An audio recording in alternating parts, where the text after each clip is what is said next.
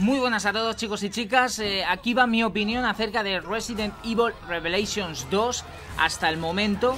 Ya sabéis que, bueno, se ha mostrado el primer tráiler del título, un tráiler que por cierto tiene muy buena pinta, eh, con personajes, eh, bueno, pues tan importantes en la saga como pueden ser Claire Redfield, la hermana de Chris Redfield, incluso nuevos personajes como podría ser la hija de Barry Martin, otro importante personaje de la primera entrega de Resident Evil. Bueno, opinión, eh, ¿qué está pasando con este Revelations 2? A ver, yo en primer lugar, em, ya sabéis que ha habido muchas críticas de por qué el título no continuaba en Nintendo 3DS, ya que es donde nació eh, esta subsaga de Resident Evil, ¿no? Este Revelations. Bueno, pues eh, yo ahí no estoy, no estoy en contra de Capcom para nada, es decir, no me importa que salga en consolas de sobremesa y en PC y que no salga en Nintendo 3DS. Me molesta un poquito que los usuarios de Wii U no puedan disfrutar de, este título que tiene muy buena pinta. La verdad es que es totalmente injusto.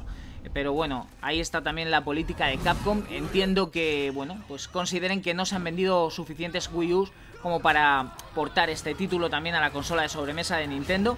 Pero también me parece injusto que, por ejemplo, si lo porten a Xbox One, cuando Xbox One tampoco es que tenga muchísimas consolas vendidas. Pero bueno, esa es eh, mi opinión. También es cierto que será más fácil portarlo a Xbox One, ¿no? Por arquitectura de la consola. Em, deciros que lo que más me ha cabreado ha sido el hecho de que el título se vaya a entregar por, a entregar eh, por capítulos, a vender por capítulos.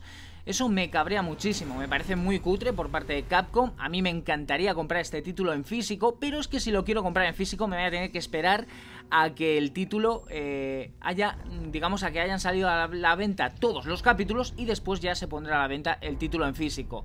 O sea, sería el último en jugarlo. Me parece totalmente injusto por parte de Capcom. Me parece una canallada, eh, un modelo de negocio que desde luego es muy cutre y es una pena que un juego que, parece que tiene mucha calidad por lo que se está viendo, pues que vaya a lanzarse así. Podrían hacer experimentos pero con otras sagas, pero no con esta, por favor, Capcom. Y bueno, también deciros que en cuanto al argumento del título, bueno, por lo poco que se ha visto, eh, por lo poco que vemos, la verdad es que creo que poco tiene que ver con Resident Evil Revelations, con la primera entrega. No sé por qué lo han llamado así. Eh, pero bueno, esto vamos a darle una oportunidad. Vamos a esperar a que llegue el título de verdad. Buena pinta tiene, lo compraré. Soy un cagaprisas y sé que lo compraré en digital. Me va a fastidiar muchísimo comprar este juego por capítulos. Eh, para luego, además, cuando salga la edición física, comprarlo.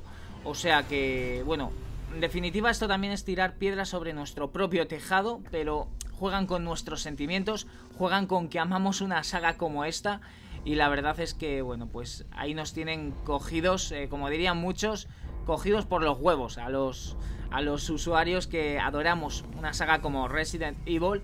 ¿Y qué pintaza tiene esto? ¿Y qué ganas tenía yo de volver a controlar a Claire Redfield después de tanto tiempo? Bueno, ahí lo tenemos, el primer tráiler, a ver si vemos más cositas poco a poco. Toda esta opinión la quería dar en la voz de los gamers, ya sabéis que nos chafaron el podcast la pasada semana. Próximamente os hablaré acerca de todo lo que sucedió en ese podcast y también os contaré qué es lo que vamos a hacer para retomar la voz de los gamers sin que nadie nos moleste.